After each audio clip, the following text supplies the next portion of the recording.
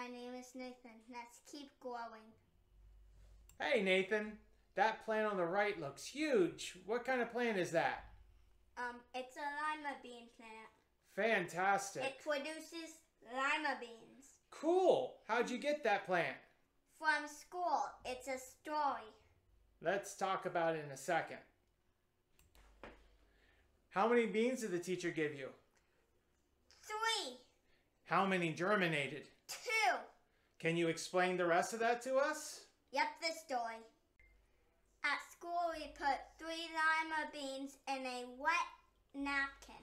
And then what happened? And then only two of them germinated. Oh, wow. Here's um one of them. This lima bean plant. When you came home with the plants, what did you come home in them with? um a Where did they- cup. They were in a cup. And and what were they planted in? Soil. So, And then what happened on next? day nine, we planted one of them into the AeroGarden. Really? And then the other one Didn't survive. we throwed away. Tossed it. Tossed it. Yeah, it wasn't going to live. So, when we put it in the AeroGarden, did we put the dirt in the AeroGarden? no. What'd we do? We took some of the sponge out. Yeah? What'd we do with the roots? Um, the roots we put we cleaned them. Hey, let's go take a look at the roots. All right. Hey, let's take some.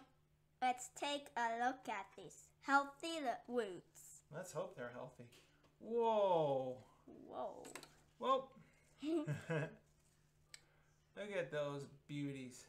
They are, it's just so much. I wonder when we're going to have to give it a haircut, a root cut. uh, root haircut.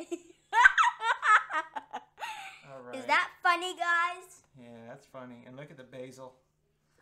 Basil's going. Yeah. All right. Thank you for watching, and I hope you subscribe. And don't forget to hit